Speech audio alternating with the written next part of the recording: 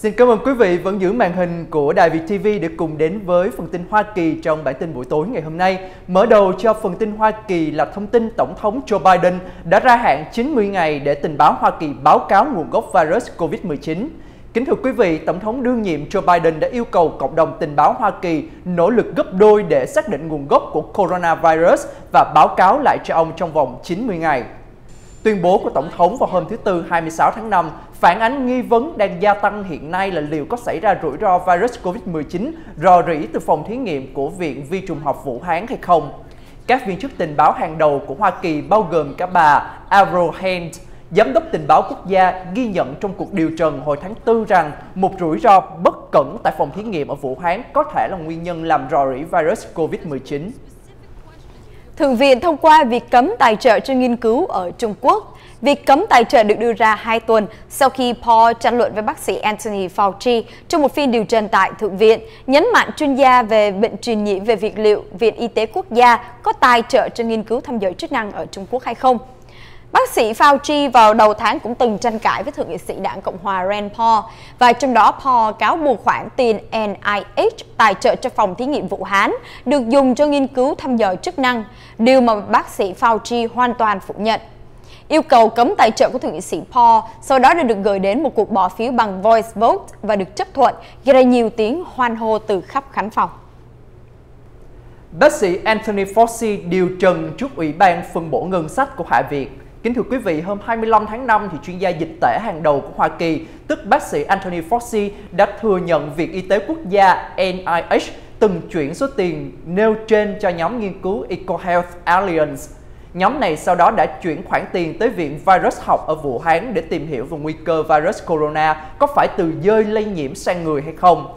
Theo các điều khoản tài trợ, số tiền 600.000 Mỹ Kim này không được chi cho nghiên cứu thăm dò chức năng Hoạt động gây tranh cãi nhằm tìm hiểu cách virus đột biến và trở nên dễ lây lan hoặc nguy hiểm hơn. Bác sĩ Fauci chỉ khẳng định việc NIH tài trợ cho nghiên cứu của Viện Virus học Vũ Hán là cần thiết khi đợt bùng phát dịch SARS vào đầu những năm 2000 cũng bắt nguồn từ loài dơi.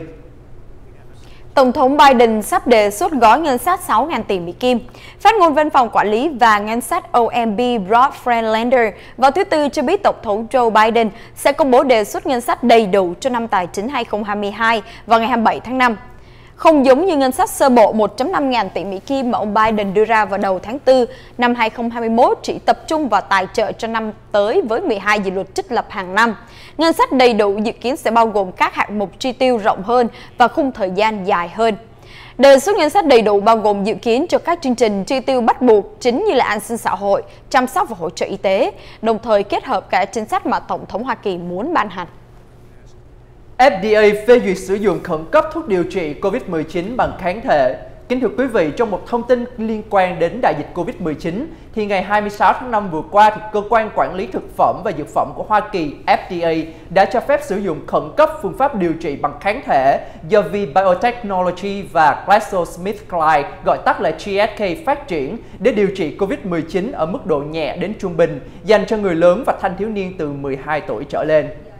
GSK và VBio cho biết phương pháp điều trị bằng kháng thể sẽ được cung cấp cho bệnh nhân COVID-19 trong những tuần sắp tới và sẽ có kế hoạch nộp đơn cho FDA để thương mại hóa sản phẩm vào nửa cuối năm nay. Trong một tuyên bố chung cùng với GSK, thì giám đốc điều hành của V lời ông Josh Scangos cho biết dựa trên dữ liệu thử nghiệm gần đây nhất của chúng tôi, Sotrovimab đã duy trì hoạt động chống lại tất cả các biến thể virus hiện đang lưu hành và được quan tâm. Hoa Kỳ khởi động tranh chấp thương mại với Canada.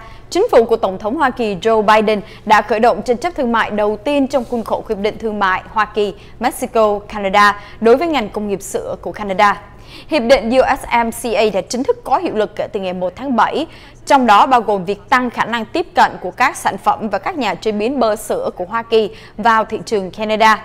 Đại diện thương mại Hoa Kỳ bà Catherine Tai cho biết Washington cáo buộc Canada đã phá vỡ thỏa thuận mở cửa một phần thị trường sữa vốn được bảo hộ của mình cho hàng nhập khẩu từ Hoa Kỳ. Kính thưa quý vị, thông tin vừa rồi cũng đã khép lại bản tin Hoa Kỳ ngày hôm nay và nối tiếp ngay sau đây sẽ là phần thông tin chứng khoán. Thị trường chứng khoán chiều nay với các chỉ số như sau. Chỉ số Dow Jones đạt được ngưỡng là 34.452.17, đã tăng được 0.44%. Trong khi đó thì chỉ số Nasdaq đạt được ngưỡng là 13.744.34 đã tăng được 0.05%. Chỉ số S&P 500 thì đạt mức là 4.202.02 cũng tăng được 0.14%. Phân lời công khố phiếu 10 năm của ngày hôm nay là 1.6100 tăng 2.29%.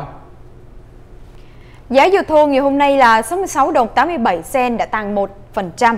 Giá vàng tại Hoa Kỳ hôm nay là 1.898 Mỹ Kim cho 1 ounce đã giảm đi 0.17%. Tại Việt Nam, giá vàng mua vào hôm nay là 56 triệu 140 ngàn đồng một lượng, bán ra là 56 triệu 540 ngàn đồng một lượng. Cũng tại Việt Nam, một đô la hôm nay đổi được 23.140 đồng tiền Việt Nam. Vừa rồi là phần tin Hoa Kỳ và chứng khoán. Sau một vài thông tin thương mại, chúng tôi sẽ quay trở lại với phần tin Việt Nam.